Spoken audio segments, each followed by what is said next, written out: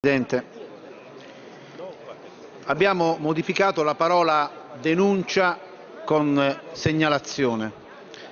Questo per evitare delle formalità nel modo di prospettazione di condotte illecite, opportunamente è stata eliminata la parola abuso e per condotte illecite non si possono intendere che condotte contra legge, quindi protette da norme incriminatrici, è evidente, ma è chiaro che non, noi dobbiamo intervenire pesantemente per evitare che vi sia la segnalazione della delazione, cioè i fatti devono essere stati direttamente percepiti dal denunciante, perché se no poi si crea una sorta di catena di Sant'Antonio dell'attendibilità, perché aver ricevuto una notizia da terzi o averla percepita indirettamente o avere comunque dei ripari a quella buona fede che abbiamo, secondo me, malamente lasciato nella norma, se io riferisco di aver sentito, di aver percepito che Tizio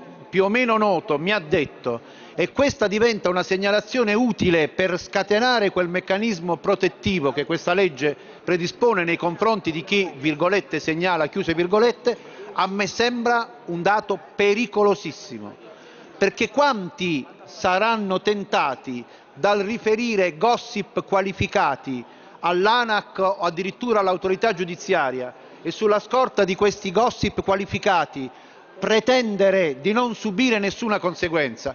Io penso che questa emorragia verso la ed eterodenuncia debba essere fermata e si debba pretendere che il soggetto che segnala si assuma la responsabilità di aver direttamente percepito la condotta illecita.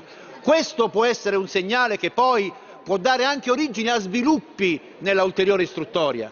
Che cosa accade se il soggetto non ha percepito direttamente? Che mentre il principio del dum pendet rendet, cioè la denuncia permane, la segnalazione slash denuncia, che è la stessa cosa, parliamoci chiaro, in una pubblica amministrazione un soggetto segnalato, denunciato è un soggetto che viene messo alla berlina. Oggi la comunicazione è esistere, un fatto pendente un fatto che è dato già per scontato. L'articolo 27 della Costituzione è ormai andato a gambe levate via da quest'Aula. È chiaro che quando siamo di fronte a delle denunce anche indirette noi innestiamo un meccanismo antidemocratico, questo sì illecito e incapace di darci quelle garanzie. Io vi chiedo se ciascuno di noi fosse un dipendente denunciato da un altro collega per un fatto indiretto, percepito, e subisse le conseguenze di questa denuncia indiretta, questo poi sembra un dato che sia digeribile nell'ambito del sistema. Questa è una barbarie io vi prego caldamente di votare favorevolmente su questo emendamento per impedire che le voci indirette diventino per il penalizzato soggetto denunciato una mannaia che si abbatte inesorabilmente per anni sulla onorabilità di un soggetto. Noi voteremo favorevolmente. La ringrazio. Ci sono altri interventi? No. Dichiaro aperta la votazione. 1.14 Brunetta, parere contrario.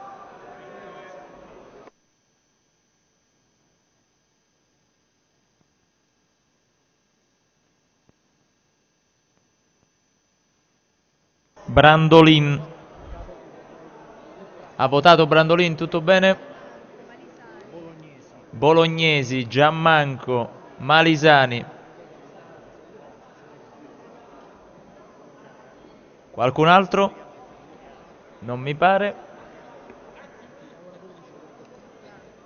Aspettiamo la Franco.